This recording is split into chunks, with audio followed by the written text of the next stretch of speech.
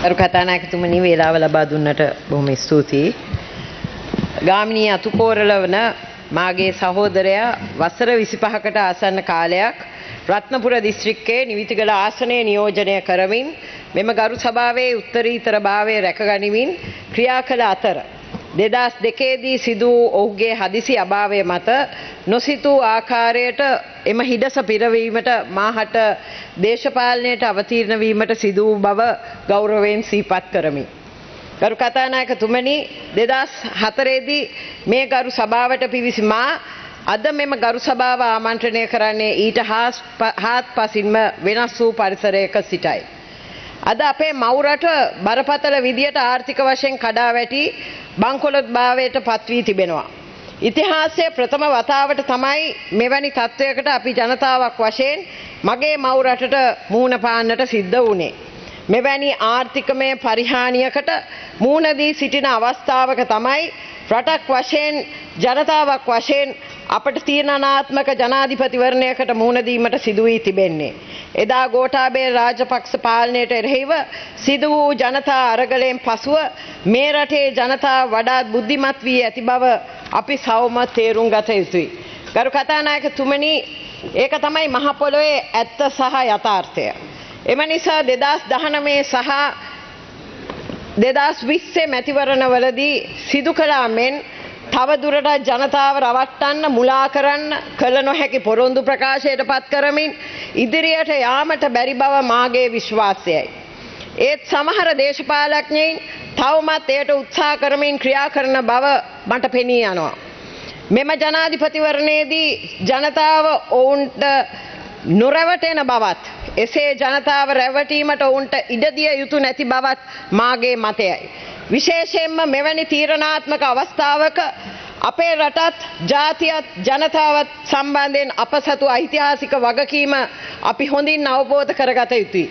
එසේ නොවනොත් ඉතිහාසයේ කිසිවකුටත් මගහැරයා නොහැකි අතිශය අර්බූධකාරී අවස්ථාවක ඒකේ යුතුකම සහ වගකීම ඉෂ්ට නොකරපු දැඩි ආත්මාර්ථකාමී අවස්ථාවාදීන් පිරිසක් විදියට අපේ නමත් ඉතිහාසයේ කුණුබක්කියට වැටෙනු නොඅනුමානයි. ගරු කතානායකතුමනි මම හැමදාම සත්‍යයට මුහුණ දුන් සහ ඒ වෙනුවෙන් පෙනී සිටි කෙනෙක්.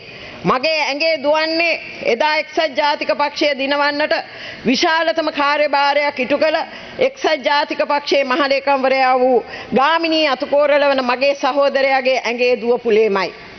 ඉතාම දුෂ්කර තත්ත්වයක් යටතේ පවා තමන්ගේ පක්ෂය බලයට පත් කරන්න කැපවුණු නායකෙක් තමයි මගේ සහෝදරය. තමන්ගේ පුද්ගලික වාසිය තකා කිසිම දවසක පක්ෂය හැර නොගිය නායකෙක් ඔහු. කිසිසේත් බිඳහෙළිය නොහැකි සදාතනික හෘදයාංගම සහසම්බන්ධතාවයක් ආදරයෙන් තමයි මගේ සහෝදරයා සහ රත්නපුර ජනතාව අතර තිබුණේ. මගේ දර්ශනයත් මා අදහන්නෙත් එයයි. එම නිසා මෙම අවස්ථාව මට ඉතාම සංවේදී අවස්ථාවක්. එය එක පැත්තකින් අපේ දැවන්ත මව්පක්ෂය වන එක්සත් ජාතික පක්ෂය දෙකට බෙදිලා. අපේ මව්පක්ෂයේ නායකයත් හිටපු නියෝජ්‍ය නායකයත් දෙන්නම දේශපාලන සතුරන් බවට පත්වෙලා. ඒ දෙන්නම ජනාධිපති වෙන්න තරග කරනවා. අනෙක් හැමෝම වගේ එකතුවන්න උත්සාහ කරන්න මේ වගේ තීරණාත්මක මොහොතක අපේ කඳවුර බෙදිලා දෙන්නෙක් තරග කරන්න ගත් තීරණය සමග මගේ හර්ද සාක්ෂියට විරුද්ධව කොහෙත්ම එකඟ වෙන්න බැහැ. එසේ නායකින් දෙදෙනා දෙපසකට වී තරග කිරීමට ගත් තීරණය ආත්මාර්ථකාමී සහ රටේ අනාගතය ගැන සිතා බලන්නේ නැතුව ගත් අපරිණත දේශපාලන තීන්දුවක් බව මගේ විශ්වාසයයි. ඒ බව ඉතිහාසය විසින් නුදුරු දිනයකදී ඔප්පු කරාවි. ඒ ගැන තව දුරටත් නිහඬව සිටියොත් මටත් ඒ පාපයට වක්‍රව හෝ දායක වුණ කෙනෙක් බවට පත්වේවි. ගරු කතානායකතුමනි එම නිසා මෙම අතිශය සංවේදී කාරණය සම්බන්ධයෙන් මම වහාම තීරණයක් ගත යුතුයි. එය මෙම රටට සහ ජනතාවට ආදර්ශයක් විය යුතුයි. තීරණයක් බව මාගේ විශ්වාසයයි. එසේ මෙය මාගේ හෘද සාක්ෂියට එකඟ වන තීරණයක් විය යුතුයි. එසේම මට ජනවරමක් ලබා දුන් රත්නපුරය ජනතාවට සහ ඔවුන්ගේ අනාගතයට පටහැනි තීරණයක් නොවිය යුතු බව මාගේ විශ්වාසයයි. විශේෂයෙන්ම මාකාන්තා මන්ත්‍රීවරියක් වශයෙන් මෙරට කාන්තාවන් මුහුණ දෙන ගැටලු පිළිබඳ දැඩි අවධානයකින් ක්‍රියා කරන කෙනකි. මෙම ගරු සභාවේ කාන්තා ළමා අධීක්ෂණ ආංශික අධීක්ෂණ කාරක සභාවේ සභාපතිනියයි. වැඩපලේදී කාන්තාවන්ට මුහුට දීමට සිදුවන ලිංගික හිංසනය පිටු දැකීමටත් අවුරුදු පහට අඩු දරුවන් සිටින සෑම අංශයකම රැකියාවල නියුක්තික කාන්තාවන්ගේ දරුවන් රැකබලා ගැනීමේ වගකීම පිළිබඳවත් අවශ්‍ය වැඩපිළිවෙල සේවා ස්ථානයේම ඇතිකිරීම පිළිබඳව යෝජනාව මම මේ වලිය මේ ගරු සභාවට ඉදිරිපත් කළා. එසේම මෙම ගරු සභාවේ ඉතා සුළු පිරිසක් වූ කාන්තා මන්ත්‍රීවරියන්ට තමන් කාන්තාවක් වීම නිසාම එල්ලවන අභියෝගයන් සැලකිල්ලට ගෙන ඒ වෙනුවෙන් ක්‍රියා කිරීමටත් මේ රටේ සුහසක් කාන්තාවන් අත් දෙන පීඩනය පිළිබඳව සැබෑ අවබෝධයක් මා වසර විස්සක මාගේ පාර්ලිමේන්තු ජීවිතයේදී ලබා තිබෙනවා. එම නිසා මාගේ දේශපාලන ගමන මා කිසිසේත් නතර කරන්නේ නැහැ. ඒ බව මේ අවස්ථාවේදී ඉතාම ආඩම්බරයෙන් සහ ධෛර්යයෙන් යුතුව ප්‍රකාශ කර සිටිනවා. ගරු කතානායකතුමනි මෙම රටේ කාන්තාවන් වෙනුවෙන් තව බොහෝ දුරක් යා යුතු බව මාගේ විශ්වාසයයි. මා ගැන විශ්වාස මා ගැන විශ්වාසය තබල මාව අවුරුදු විස්සකට වැඩි කලක් මේ උත්තරීතර සභාවට පත් කර එව්වේ මගේ රත්නපුර දිස්ත්‍රික්කේ ඈත එපිට දුෂ්කර ජීවත්වන ඉතාම ග්‍රාමීය සහ අඩු ආදායම්ලාභී ජනතාවක් මුල් කරගත් සමාජයේ අවම වරප්‍රසාද ලත් කොටසයි.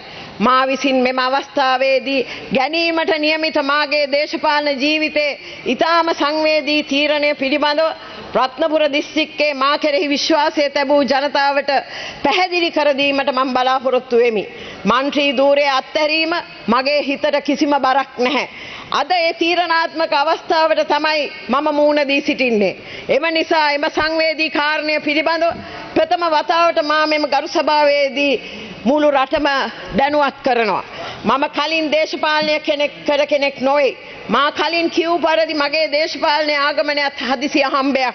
ඒත් එදා මා භාරගතයේ අභියෝගය වෙනුවෙන් පූර්ණ කාලීනව කැපවන්න මාහට පුළුවන් වුණා. ඒ සඳහා මා දිවාරෑ වෙහෙසුනා.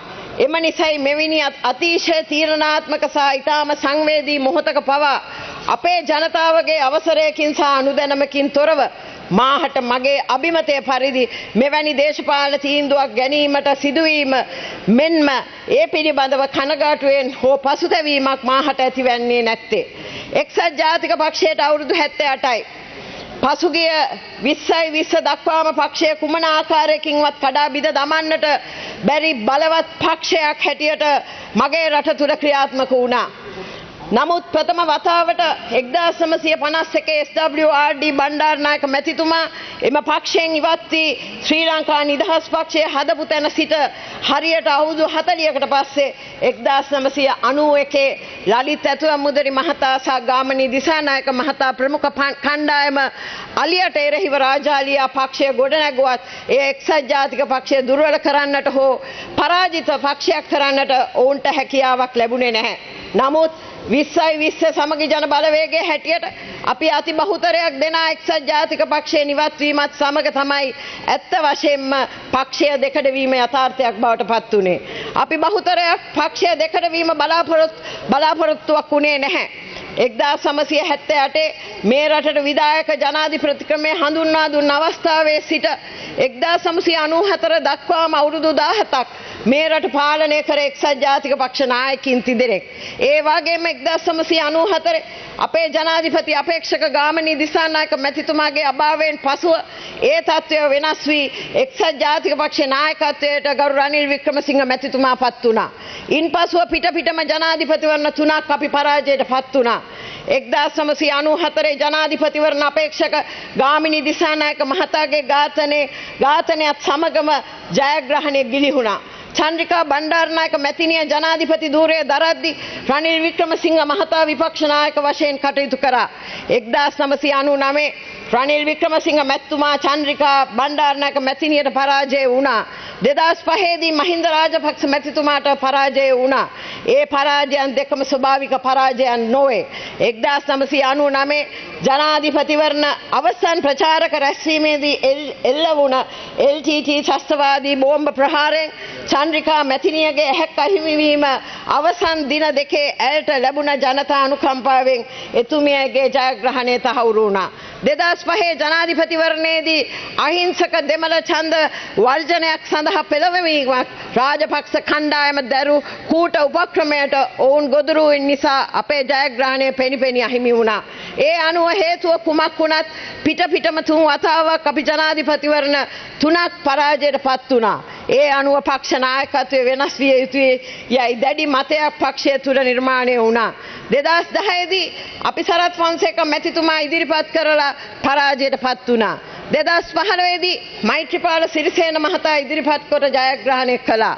ඒත් දෙදස් දහනමේදී අපේම නියෝජනායක සජිත් ප්‍රේමදාස මැත්තුමා ඉදිරිපත් කොට යළිත් පරාජය වුණා. එම පරාජයන් දෙකත් ඇත්තටම ස්වභාවික පරාජයන් නොවේ. දෙදස් දහයේදී මහින්ද රාජපක්ෂ මහතා ජයග්‍රහණය කරේ. රටපුරා පතුරවා හරින ලද යුද ජයග්‍රහණය උන්මාදය එක්ක දෙදස් දහනමේදී අපි පරාජය වුණේ. පාස්කුර් ප්‍රහාරය යන කෘතිම ලෙස රටපුරා ඇවිල වූ මුස්ලිම් බීතියත් සමගයි. එම නිසා විස්සයි විස්ස වන විට අප පක්ෂයේ නායකත්වය වෙනස් විය යුතු බවට තිබූ අරගලය නිහඬ අරගලයක් බවට පත් වුණා. එහි ප්‍රතිඵලය වුණේ සමගි ජන බලවේගය නිර්මාණය කොට බහුතර මන්ත්‍රී සංඛ්‍යාවක් එක්සත් ජාතික පක්ෂය නිවත්වීමයි. එදා තමයි අවුරුදු හැත්ත තුනක් කුමන අභයෝගයකටවත් එල්ල වුණු දෙකට කරන්න බැරි වූ එක්සත් ජාතික පක්ෂය දෙකට වුණේ එක්දස් නමසය පනස් එකේ බණ්ඩාර්නායක මහත්තයට බැරි වූ දේ එක්දා සමසය අනුව එකේ ගාමිණි දිසානායක ලලිත ඇතුව මුදි මහතාට බැරි වූ දේ දෙදස් විස්සේ සජිත් ප්‍රේමදාස ඇතුළු මැත්තුමා ඇතුළු කණ්ඩායමට පුළුවන් වුණේ එහෙමයි. ඒත් අද මට තිබෙන ප්‍රශ්නය තමයි එදා එය අපිට ලොකු හපංකමක් ලෙස තිබුණත්. පක්ෂය දෙකට නොවී ඒ ගැටලුව විසඳගන්න බැරි වුණේ ඇයි කියන එක එදා එළියට ආපු മന്ത്രിවරු අතර මමත් සිටියත් පක්ෂය දෙකට වීම පිළිබඳව මගේ කැමැත්තක් තිබුණේ නැහැ.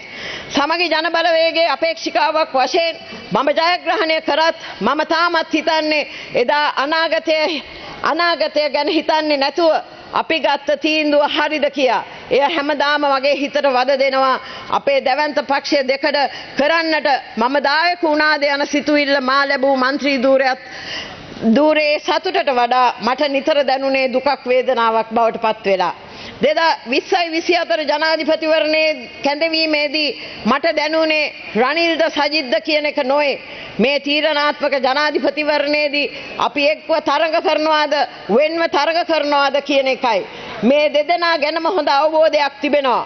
මීට දශකයකට පෙර පක්ෂේ නියෝජ්‍යනායක දූරයට සජිත් ප්‍රේමදාස මැතිතුමා පත්විය යුතු බවට දැඩි ස්ථාවරයක සිටිය අතලොස් අතරේ මාද සිටිය බව මේ අවස්ථාවේ මගේ මතකයට නැගෙනවා. උද්ගත වූයේ අර්බූදය මගහැරීමට නායකත්ව මණ්ඩලයක් පත් කළ අතර එහි සාමාජිකාවක් බවට එක්සත් ජාතික පක්ෂ කෘත්‍යාදී කණි මණ්ඩලයේදී මාවද නම් කෙරුණා. ඒ අවස්ථාවේදීම ඒ ප්‍රතික්ෂ කරමින් මා ඉන්න ඉල්ලා අසූ බව ගරු සජිත් ප්‍රේමදාස මහතාට මතක ඇතැයි මා සිතනවා. එසේම විස්සයි විස්ස ඔවුන් සමග පක්ෂයෙන් එළියට බැහිමට මා තීරණය කරේ සජිත් ප්‍රේමදාස මහතා ගැන තිබුණු දැඩි විශ්වාසයකිනි. ඒ නිසා අප අතර පුද්ගලික ප්‍රශ්නයක් නැහැ. මේ ජනාධිපතිවරණයේදී අපි ජයග්‍රහණය කරන්න නම් අපි එකතු වී මිස වෙන් වී තරග කිරීම ප්‍රායෝගික නොවන බව මාගේ විශ්වාසයයි.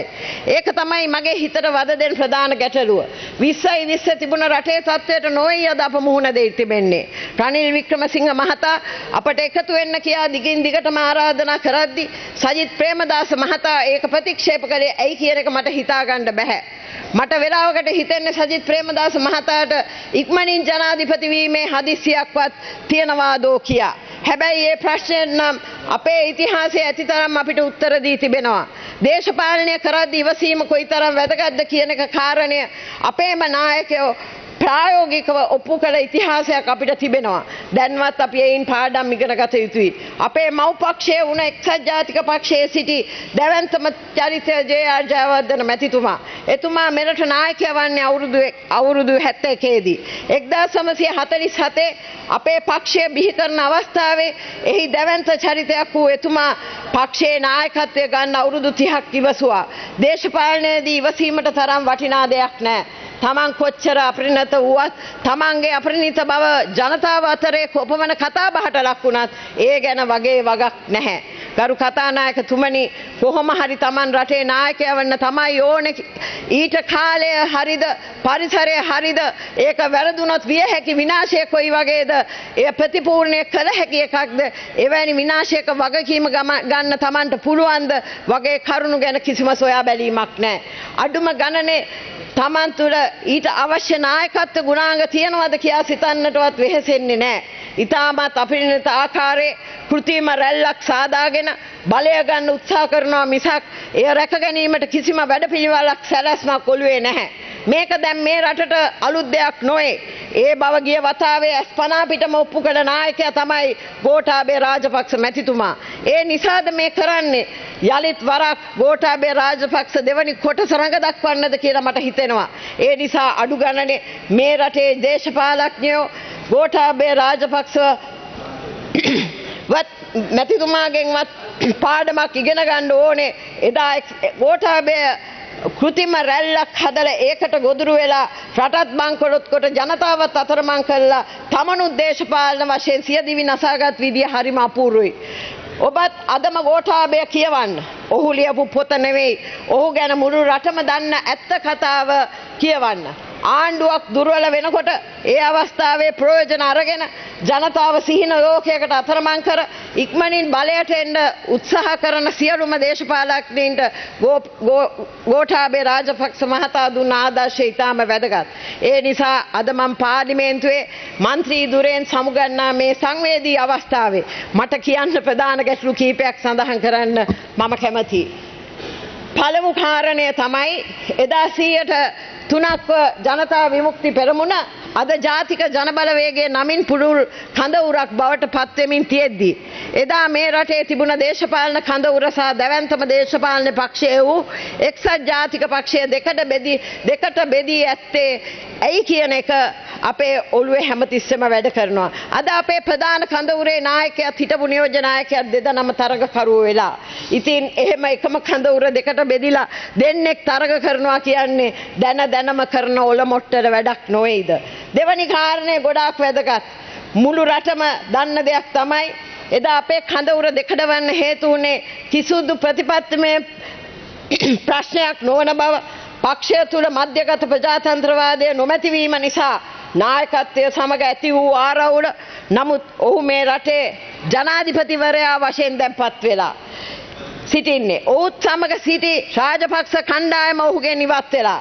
දැන් වෙනම තරග කරනවා. ස්වභාව ධර්මය විසින්ම එම සියලු බාධක ඉවත් කොට අපේ නිසැක ජයග්‍රහණය බන්දේසියක සභා පිළිගන්නවා තිබියදී ඇයි අපි ප්‍රතික්ෂේප කරන්නේ.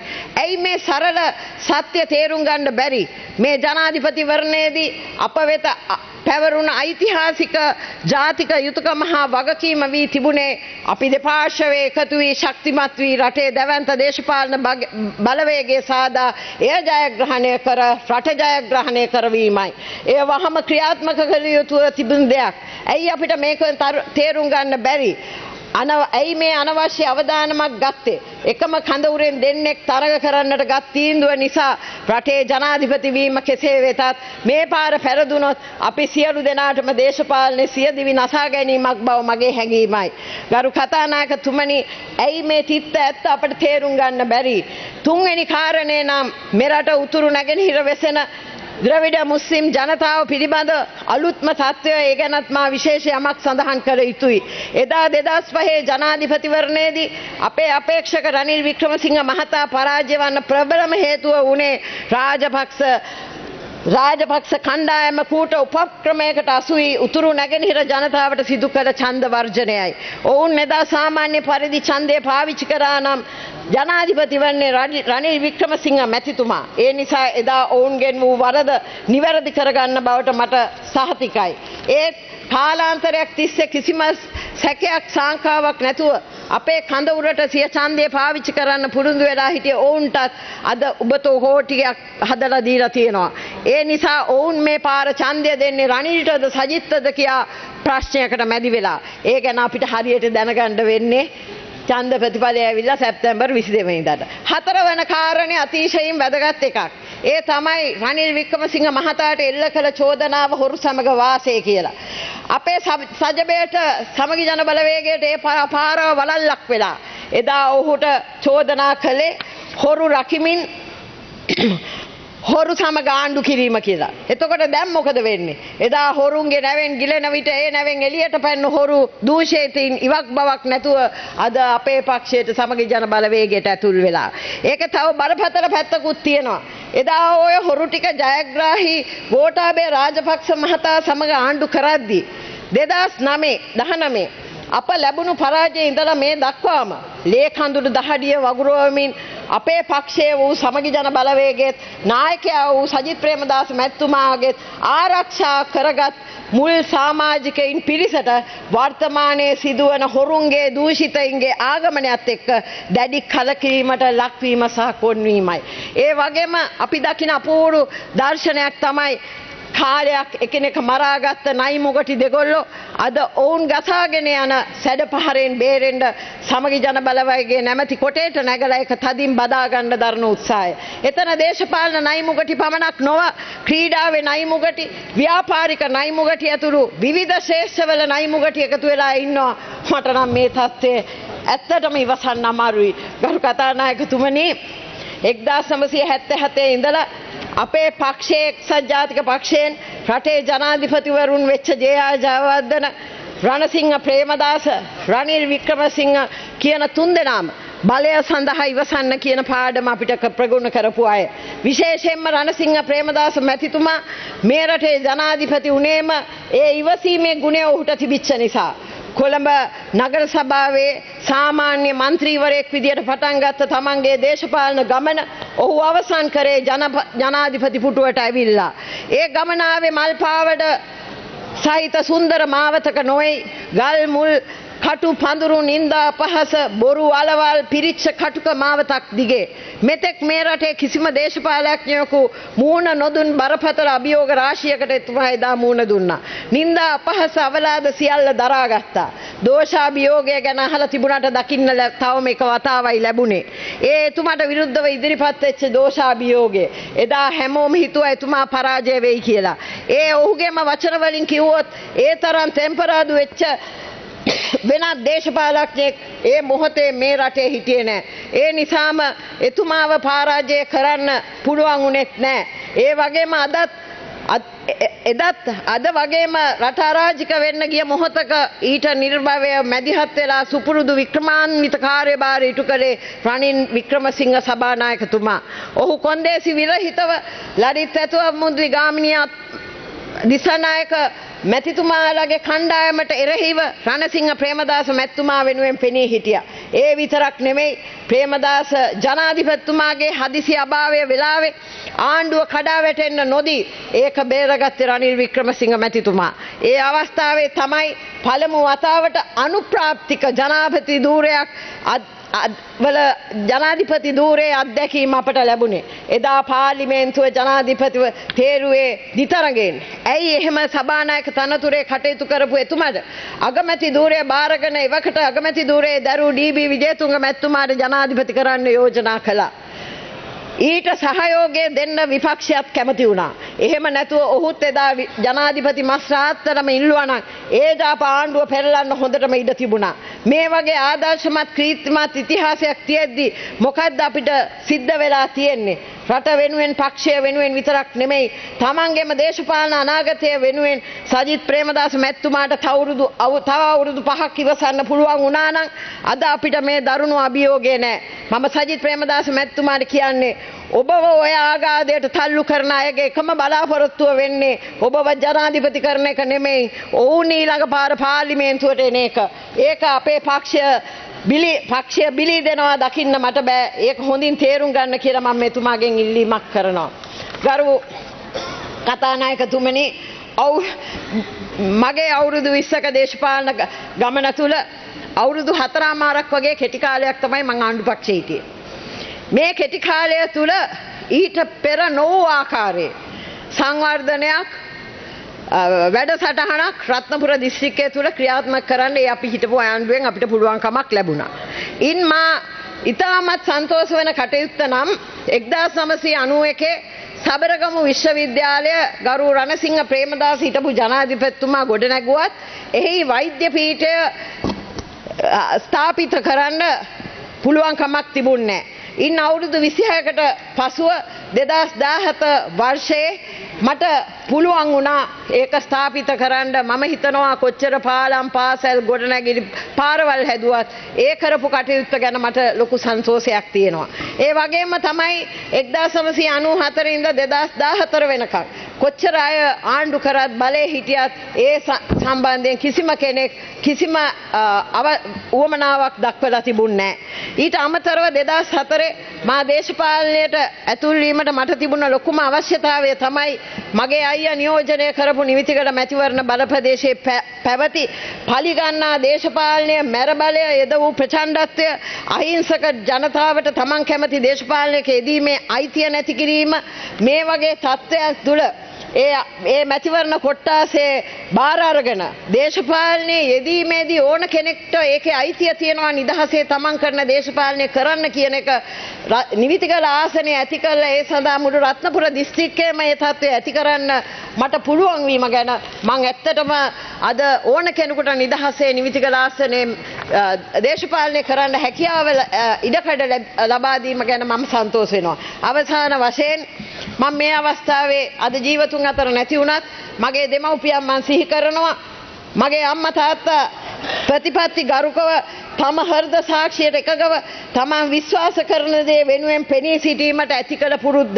ඒ වගේම ශක්තිමත් ආර්ථික පදනමක් අපිට ඇති කරලා දීලා තියෙනවා අපේ කොන්ද කෙලින් තියාගෙන තමන්ගේ කැමති තීන්දුව තීරණයක් ගන්න. මම මේ අවස්ථාවේ ඒ දෙපළ ජීවතුන් අතර නැති වුණත් මගේ පුණ්‍යානුමෝදනාව මම ඒ වෙනුවෙන් පල කරනවා. ඒ වගේම මගේ සහෝදරය දේශපාලනය තනතුරක් ආභරණයක් නොවන බවත් කැපවීම මහන්සිය මත පක්ෂ බේදයකින් තොරව කටයුතු කරපු අහිංසක වරප්‍රසාදයක් නැති හඬක් නගන්න බැරි අය වෙනුවෙන් කරන දේශපාලනය මට ඉගැන්වේ මගේ සහෝදරයා ඒ මග ගමන් කරන්න අවුරුදු 20ක් මට හැකියවීම ගැන එතුමත් ජීවතුන් අතර රැති වුණත් මගේ පුණ්‍ය අනුමෝදනා ස්තුතිය මම පුඩ කරනවා. ඒ වගේම මගේ දයාබර ස්වාමි පුරුෂයා මම සාලිය මට හැමතිස්සකම හරි දේ කරන්න දේශපාලනය කියන එක සම්බන්ධයෙන් මන් නොදත්ත කරුණු මට නිවැරදි කරමින් මං ගන්න හරි තීරණය වෙනුවෙන් නිතරම පෙනී සිටිය කෙනෙක් සම්බා හැටියට මං එතුමාව මේ වෙලාවේ මතක් කරමින් එතුමාටත් ස්තුතිවන්ත වෙනවා. ඒ වගේම